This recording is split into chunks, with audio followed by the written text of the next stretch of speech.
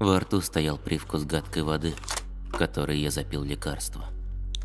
Все мысли занимала только Полина. И та угроза Ромки, если я вновь к ней приближусь. В общем, я сегодня ага, книжку да. читала, там ребята учились в Ага, школе, прям ага, как да. ты ходишь в школу. Я бродил по вот, дому, будто пьяный, поддакивал какой-то сестре, толком не разбирая, о чем она говорит. все своими руками. Нужно было Да, сначала принести да. природные материалы, да, листики всякие там, потом еще шишки, и потом они все это разбирали и клеили на бумагу, и друг другу дарили открытки. Оля же толдычила без перебоя, то и дело вскидывая руки и смеясь, подарки как вдруг так же резко смолкла и уставилась на меня до боли знакомым, колючим маминым взглядом. Я уставился на сестру. Сейчас она была миниатюрной копией мамы. Точнее тем, в кого она превратилась с момента переезда сюда. С ее грозной позой в виде заглавной буквы «Ф» и вздернутыми к потолку бровями. Ты меня не слушал, так? Она брызнула ядом в мою сторону, копируя мимику и интонацию чуть ли не единственного человека, с кем проводила все свое свободное время. На мгновение мне показалось, что свет, излучаемый Олей все эти годы, стал слабее и опасно затрепыхался на ветру затянувшихся перемен. Еще немного, и моя прекрасная принцесса станет драконом, который сторожил ее в башне. А это пугало сильнее подкрадывающихся ко мне ужасов из будущего. Оля, прости. Ты же не сердишься, правда? Я просто задумался. Взгляд заметался по комнате, как загнанный в ловушку зверь, перескакивая с одного предмета на другой, силясь найти хоть что-нибудь, что могло отвлечь Олю. А давай в приставку поиграем. Оля нахохлилась, однако искорка интереса вспыхнула в ее изумрудных глазках. И ледяной осколок, занесенный снежной королевой, начал потихоньку оттаивать. А как же второй джойстик? Не работает же. А папе починить некогда. М, можем из пистолета пострелять. В ковбоев или уток, хочешь? Ты лучше меня играешь. Да ладно тебе. Поди целый день тренировалась, пока меня дома не было. Оля прыснула со смеха, ледяное сердце окончательно растаяло. А как ты догадался? Я сейчас знаешь, какая меткая. Считай, уже проиграл. Не на того напала. Включай скорее.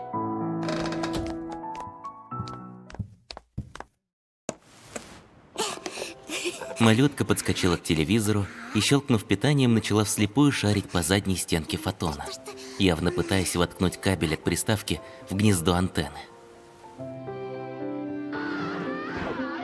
Отрывки из телепередач маячили на ламповом экране, пока Оля листала до канала, где ловила заветная Дэнди. Что дома интересного происходило?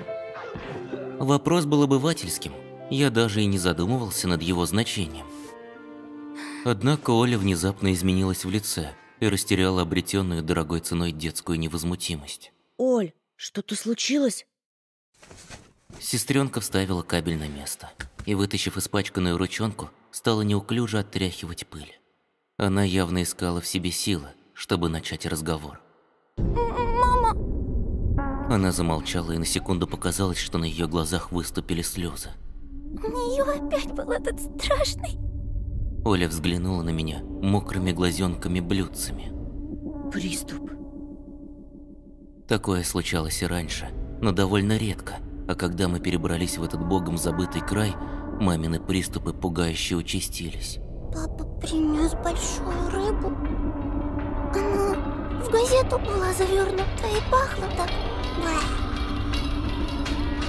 А мама опять начала злиться. Потом взяла нож. Оля поежилась с опаской, выглянув в окно. Они начали громко ругаться. Я замер, представляя, как сестренка, такая маленькая и незаметная, стояла посреди кухонного проема. Она даже не пыталась спрятаться. Родители попросту ее не замечали. И потом мама ударила. Оля едва дернула кулачком сверху вниз, имитируя удар. Рыбу. Она была живая тоже. Ей было больно. А мама... Мама... Мне было легко представить, что было дальше. Извивающаяся рыба с воткнутым в жабры клинком брызнула зловонной слизью на мамино лицо. Если смерть приближалась так близко к маме, как в тот день, когда при нас человека сбило автобусом, и кровь размазалась по лобовому стеклу. Или когда бабушка отрубила голову цыпленку, мама всегда впадала в странный, пугающий до дрожи приступ.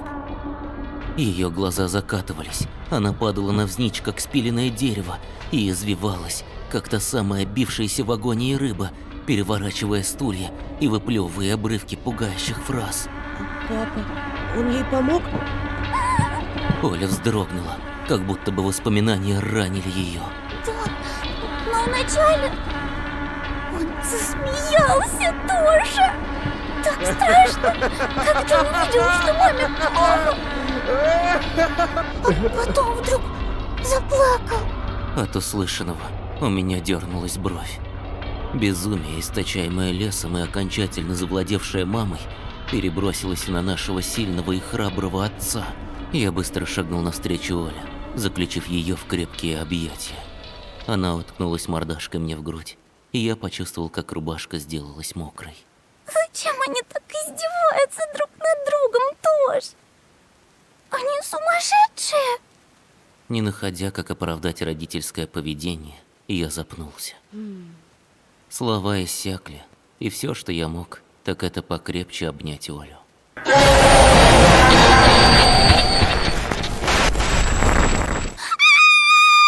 Оля в ужасе вскрикнула и спряталась за меня. Переключи, переключи скорей! Сколько бы раз она не видела эту заставку, все время реагировала одинаково, как и при виде совы. У меня самого выступили мурашки при появлении этого призрачного лица, поэтому я моментально исполнил пожелание сестры.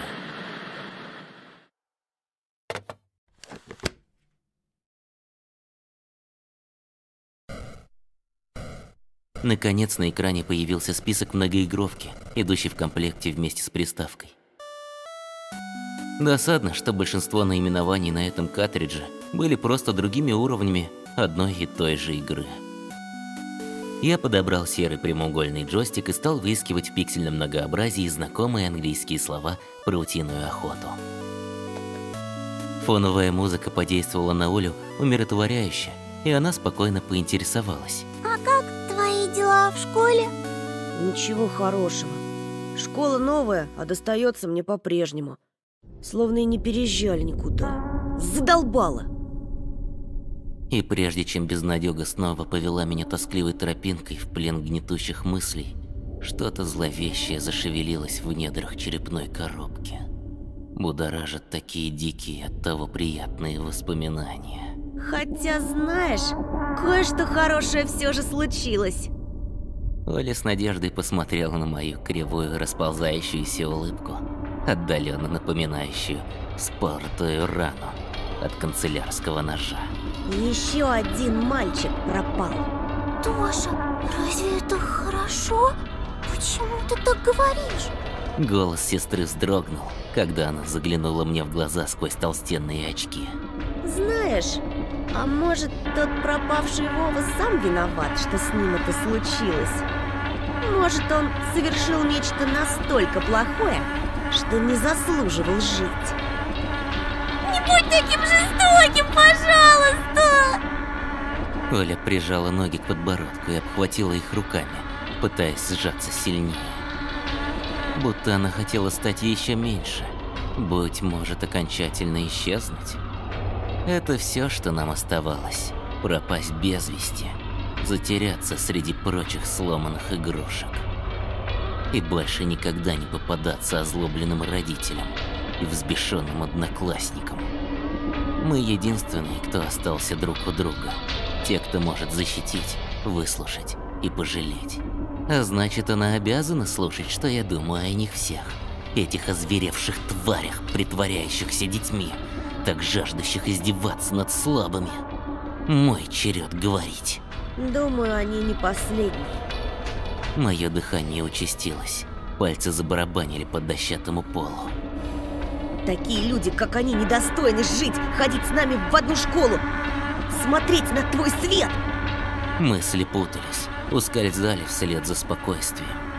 Тошенька, хватит! Ты меня пугаешь! Не бойся, я смогу тебя защитить. И тут я впервые заметил, как Оля смотрит на меня, словно на незнакомца.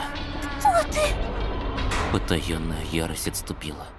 Спряталась за оболочкой труса, оставив меня один на один с нарастающим чувством стыда за то, что я напугал сестру. Оленька, прости, я...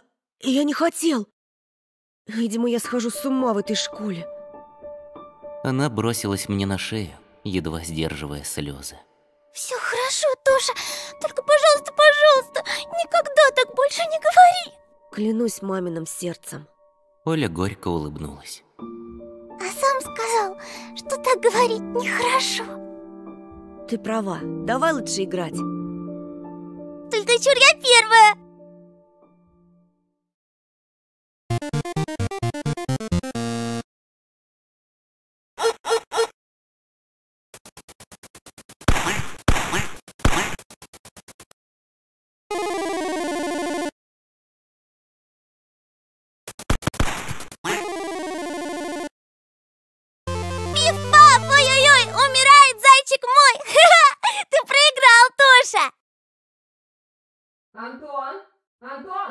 Мама докричалась до меня только с третьего раза. Антон, тебя к телефону! Девушка какая-то! Моментально протрезвев, я метнулся в коридор. Не споткнись, смотри. Я схватил трубку, прижал к груди, многозначительно глядя на маму. Она лишь пожала плечами и удалилась в комнату, на ходу собирая разбросанные Олей игрушки. Алло? У твоей мамы такой молодой голос. А, ну да, она сама молодая. Не мешаю? Нет, что ты. Знала бы она, как дорого мне может обойтись этот разговор, и чем я рискую, просто отвечая на звонок. На тумбочке лежали карандаши и потрепанный блокнот. Я взял их и принялся водить грифелем по бумаге, рисуя хаотичные завитки, так норовящие соединиться в дурацкие сердечки. Я тут подумала, мне надо тебе сказать кое-что. Я застыл. Не может быть, неужели я ей нравлюсь? В последнее время у тебя такой потерянный вид, а сегодня в школе на тебе буквально лица не было. Я не находил слов, сердце трепетало в ожидании. Я хочу сказать, я на твоей стороне. В предвкушении Полининых слов улыбка растеклась по моим губам. И мне тебя очень жаль. Такие хорошие ребята, как ты, заслуживают большего. Мне очень хочется верить, что однажды ты найдешь в себе силы дать отпор, и другие перестанут тебя задирать. Карандаш выпал из разжавшихся пальцев. Это все, что она мне скажет? Может, даже девушку найдешь. Она будто сомневалась в собственных словах. Короче, знай, ты славный парень. Это был провал. Вместо предложения погулять сочувствие, будто какому-то калеке. Ты тут? Не давая ответить, Оля спустилась по ступенькам. В ее руке была зажата книжка с розовой обложкой «Энциклопедия маленьких принцесс». Ты долго еще? Я прикрыл ладонью трубку. Я разговариваю. Что случилось? Почитай мне, пожалуйста. Мама уснула. Иди к себе, я сейчас. Только быстрее, ладно? Ладно. Последнее слово прозвучало излишне раздраженно. Я вздохнул, наблюдая, как сестра семенит по лестнице. Алло, Полина? Прости, мне надо бежать. Представляешь, кое-кто втюрился в меня и теперь оттирается у моих окон, требуя сходить с ним на свидание. Пойду прогоню его, пока дедушка не проснулся. Хм. Или может дать ему шанс? Я прикусил нижнюю губу от обиды. Если интересно, расскажу тебе завтра. Мы в конце концов друзья. Друзья. Хорошо, хоть не подружки. Да, конечно. Добрый. Гудки ударили по мозгам. «Потаскуха!» – процедил злой голос в голове. Словно зомби, лишенный покоя и рассудка, я поплелся по лестнице. Рассказать бы отцу, попросить его мужского совета. Но из-за новой работы его до поздней ночи не бывает дома. Родителям не до меня, если не сказать грубее. Ну, где твоя книжка? Я осекся. Детская была пуста. Оль? Наверное, пробралась ко мне. Я зашагал по коридору. Тени населяли комнату. Занавески колыхались, будто кто-то хоронился за ней.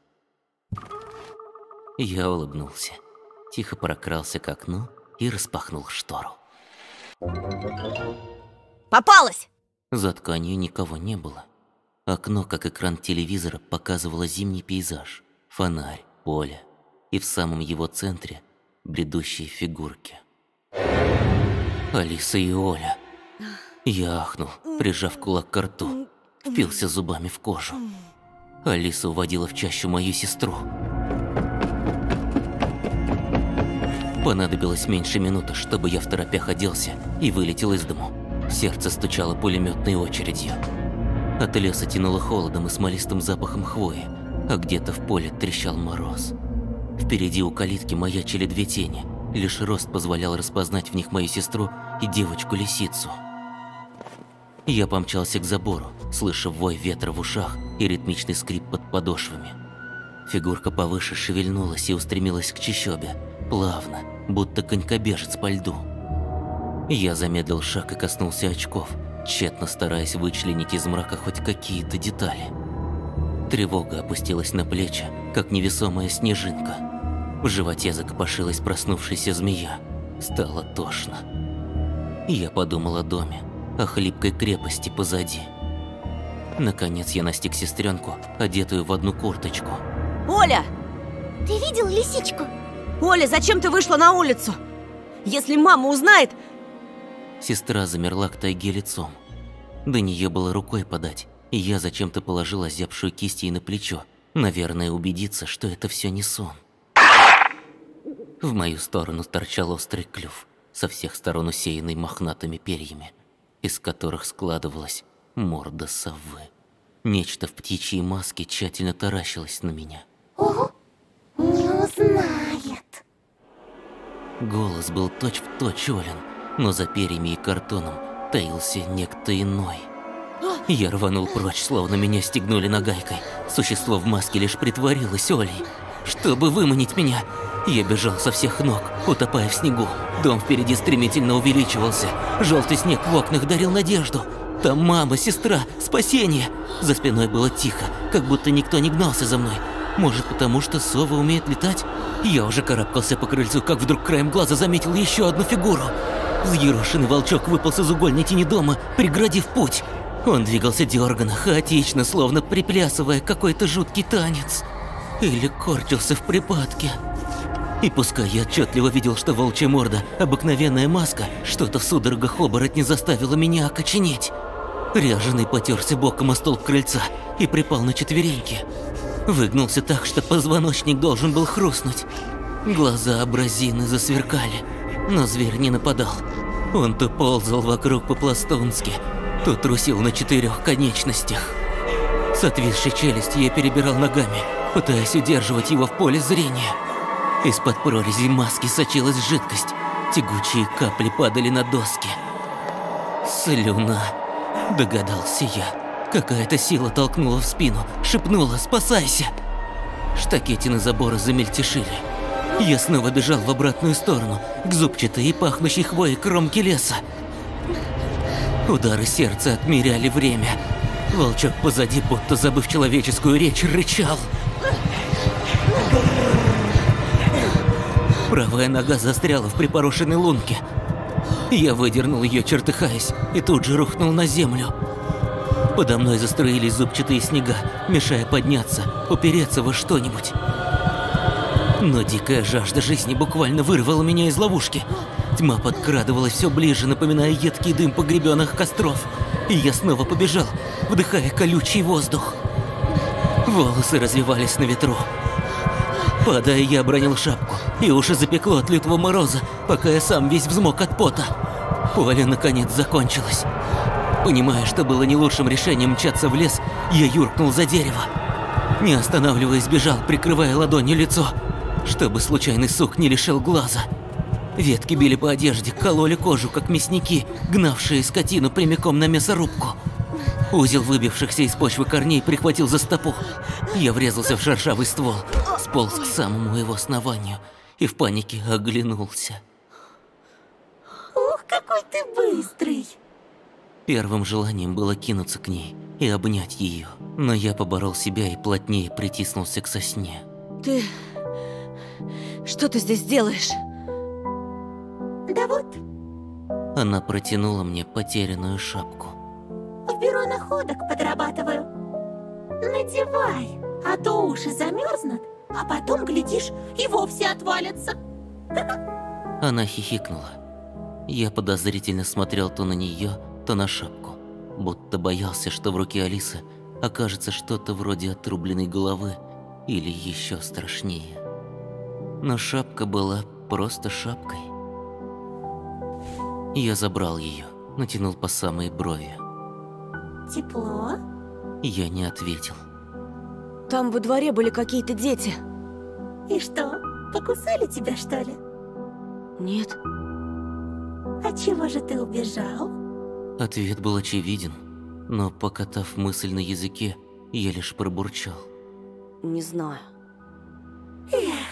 Обещала не обзывать тебя дурачком. А я обещание исполняю. Она подошла вплотную, взяла под локоть. Я почувствовал запах мяты, апельсинов и сгоревших бенгальских огней. Захотелось наклониться к Алисе, чтобы распробовать все тонкости ароматов. Сколько можно повторять? Со мной ты в безопасности. Я твой друг. И они. Я быстро обернулся туда, куда показывала лисичка. На краю опушки появились дети в масках. По крайней мере, все они были небольшого роста. Волчок, сова и медвежонок. Они фыркали и вздыхали, явно утомившись от бега. Я думала, ты в снег провалился. Стало снег копать, нет тебя. А я не копал, лень копать было. А ну как получается? Если дурак, то бегай да копай. А если умный, подожди, пока другие набегаются, накопаются и устанут. И уж тогда заводи разговор. Как я рад! Дегенерат! А? Не обращай внимания, он со странностями. Я понял, что стою с открытым ртом, с бессильно опущенными руками. Не зная, как реагировать на слова поздних гостей, я все-таки выдавил подобие улыбки. Вы просто меня напугали. Они начали переглядываться, а кто-то даже фыркнул, словно услышал шутку. Да, да, лиса права! Это он. Нет, это наш. Неужели нашли? Наш зайчик. Да-да, похож. Взбесившись от радости, волчок начал махать частью костюма, словно хвостом. Ну, конечно, ты первый. Это Волчик раньше всех почуял зайчика в тебе и рассказал нам. Здравствуй. С нашей совушкой ты знаком не понаслышке. Не такая уж она и страшная, правда? Да, наверное. А этот улыбчивый бугай — медвежутка. Ты лучше с ним поласковее, а то голову откусит. Зачем это? Да, смотрю, ты чувство юмора где-то обронил. Все еще сомневаясь в благих намерениях причудливых зверят, я спрятал руки за спину, стараясь при этом не смотреть на зияющие дыры карнавальных масок вместо глаз. Алиса наигранно подбоченилась и как-то ухитрилась подмигнуть своей рыжей личиной. Когда в следующий раз придем, будем звенеть в колокольчики, чтобы ты не так боялся нашего визита. А у нас разве есть колокольчики? Чур я звенеть не буду. У меня лапка болит. моя улыбка стала настоящей. О, зубы показал! Это добрый знак! Не ожидала, что сможем тебя рассмешить. Я думала, это под силу только Диснейленду. Откуда ты знаешь? Да так, прочитала кое-где. Про меня? Про клюв от воробья. Про Диснейленд яхонтовый. Ты умеешь читать по-человечески? Зря я, что ли, в школу хожу день ото дня. И она кокетливо запела.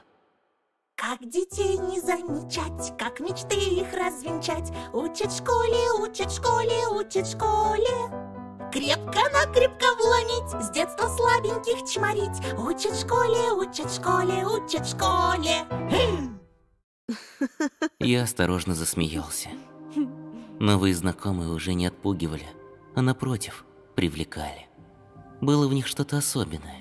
И в этой опушке, и в луне, и в снежинках, которые почему-то падали наоборот, земли в темное небо, как на прокрученной задом наперед пленке. Дети в масках приблизились, я ощутил их прикосновение.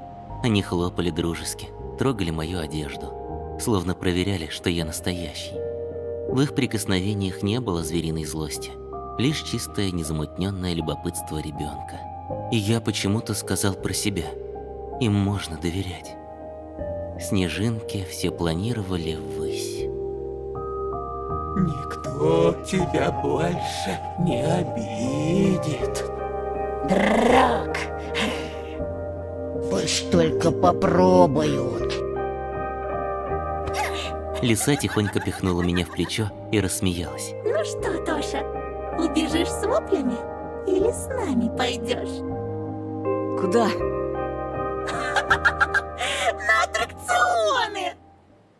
В эту секунду далекий звук флейты нарушил обманчивую тишину тайги. Прекрасный и таинственный, он вызывал в памяти звон хрусталя и журчание студенного ручья. Если какие-то сомнения оставались, то песня флейты развеяла их. Я пошел за новыми друзьями, прежде чем принял решение. Ноги сами переступали, образованные соснами тоннели раздвигались. Кусты кланялись перед нашей процессией. Все это напоминало сон. Ведь даже поляну, на которую мы выбрались, я видел во сне.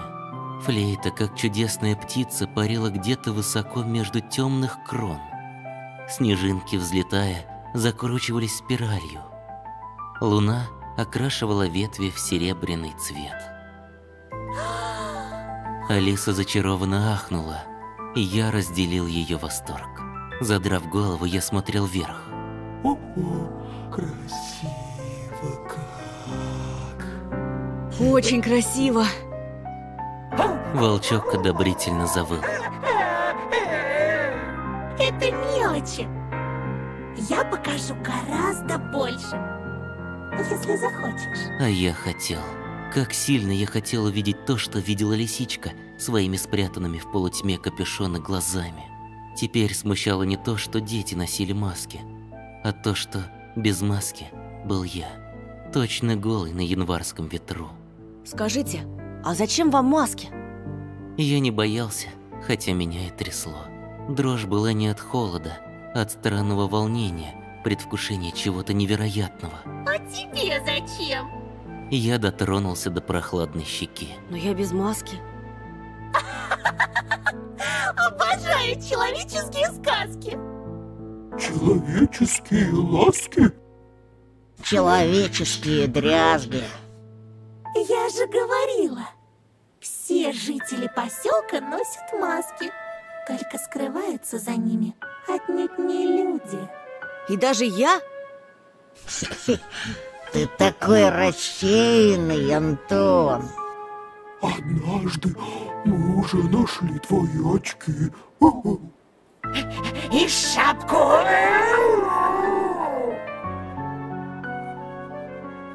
И твое настоящее лицо. Я увидел маску, которую лиса мне протягивала. Ту самую маску зайчика, похожую на серебряный слиток, в лунном свете. Стало любопытно, как изменится мир, если взглянуть сквозь прорези.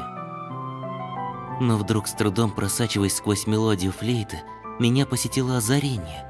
Очки, которые они нашли, были у Семёна. Мои новые знакомые наверняка знали, что с ним произошло. Или хуже. А куда подевался Семен? Что с ним стало? И с остальными детьми? Медвежонок и сова переглянулись. Волчок сжался комочком, а лисичка чуть опустила острый носик маски. Тот, кого держали в клетке. Тот, кто режет мелко-мелко. Тот, кто носит кожаное лицо, забрал их. Умел бы я креститься, перекрестился бы. Хотите сказать, это был человек? Чем ты только слушал? Разве можно назвать такого, как он, человеком? Одно слово — взрослый. В мире взрослых так легко потеряться. Убийцы, жестокие дрессировщики и равнодушные родители. Ах, лучше об этом вовсе не думать, чтобы не грустить. Не знаю, как вам, а мне печалиться совсем не хочется. И я сегодня какой-то негрустный. Антон, а ты? А? Я задумался, глядя в лес, пытаясь определить, откуда доносится звук флейты. Я был уверен, что музыкант стоит прямо за чистоколом сосен. Очень высокий, перебирающий длинными пальчиками дырочки в корпусе флейты. Так что, сядем тосковать или займемся отдыхом? Алиса хотела что-то показать. Давай начнем с самой сладкой части программы. Лисичка извлекла из карманов горсть конфет и вручила по очереди всем детям. Зашуршали фантики. Тут же запахло ананасом, какао и дыней. А, Последнюю конфету, вафельную, мою любимую, Алиса вложила мне прямо в рот. Язык обволокло пряностью. Казалось, что мое тело покрылось шерстью, по которой пробегают яркие искорки. Замешков, я прожевал вафли и шоколад, проглотил их, наслаждаясь вкусом. Спасибо. Благодарность вышла глуховатой, потому что губы мои уже касались маски. Я не заметил, как поднес ее к лицу. От папье-маше исходило тепло. Маска льнула к коже и приятно пощипывала. Так я нырял после зимней прогулки в горячую ванну и лежал, мурча от пенной воды. говорила же, это твое! Мое! Чего стоим? За нас веселиться никто не будет. И то верно. Мелодия кружилась по поляне, как вихрь. Не терпелось выпустить ту энергию, тот жар, которыми меня наполняла чарующая музыка. Сова прыгнула и исчезла высоко вверху.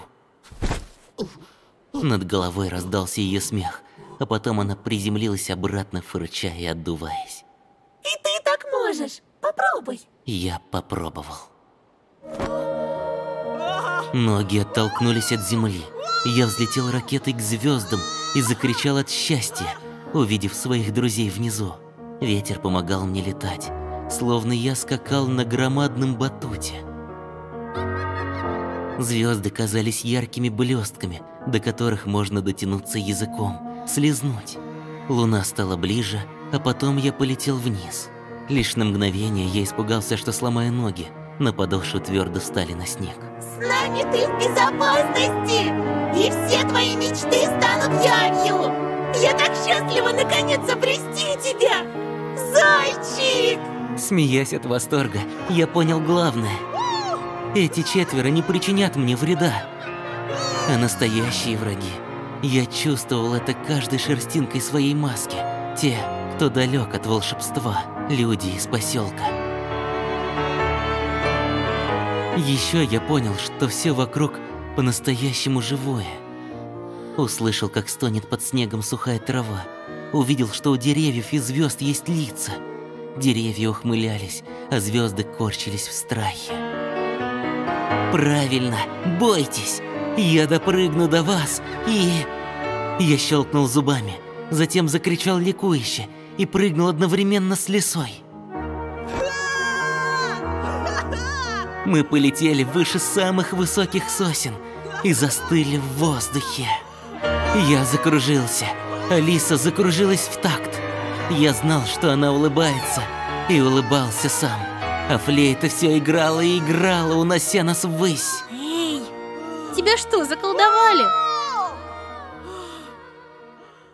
Расколдовали. Сонно подумал я, отклеивая подбородок от парты. Мышцы слегка ныли, но это было приятное чувство. Все от чего-то вновь слонялись по классу, передавали друг другу записки, шушукались. Их физиономии казались выцветшими масками, блеклыми и скучными. Я зевнул, вспоминая, как парил над лесом, а рядом смеялась Алиса и крепко сжимала мою ладонь. Возможно, и почти наверняка, это был сон. Потому что из лесу я не возвращался, а проснулся дома в кровати, обыкновенным утром, с чаем и таблетками. Но меня мало тревожило разумное объяснение ночным танцам. Куда важнее было чувство полета. Знание о том, каково висеть над пиками величественных сосен и скалиться на луну. прости, задумался. Слышал уже про Катю? А? Я бросил взгляд на пустующее место впереди. Катя пропала. Сон как рукой сняло. Я недоверчиво нахмурился. Как пропала? Быть не может.